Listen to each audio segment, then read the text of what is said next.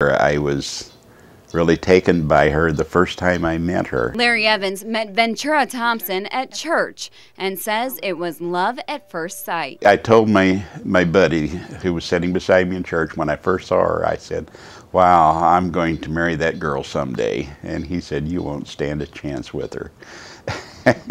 but a little more than so four cute. years later, in 1962, when a gallon of gas was about 28 cents and a dozen of eggs went for a little more than three dimes, Larry Evans proved his friend wrong. I think I just asked her to marry me, and uh, I'm not even sure I got it completely out before she was saying yes. On July 21, 1962, in 102 degree King City, Missouri heat, 20 year old Larry Evans married 17 year old Ventura Thompson. I remember his glasses sliding down off of his nose, and he was always having to push it back up, you know. Both Larry and Ventura say marriage hasn't always been easy.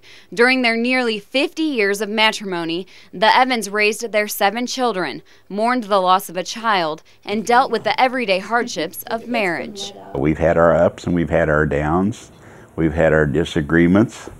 Uh, but we never left the house without saying, at least I love you, even if we were unhappy with one another. But the couple says their trials and tribulations have only made them stronger together. I love him more now than I did then because of the things that we've been through. To this day, Larry says Ventura still makes his heart flutter. She has that way about her that uh, can give me that smile or uh, or that little compliment or something, and it still gives me goosebumps. I asked the Evans what their secret was to a successful marriage, and their answers were simple.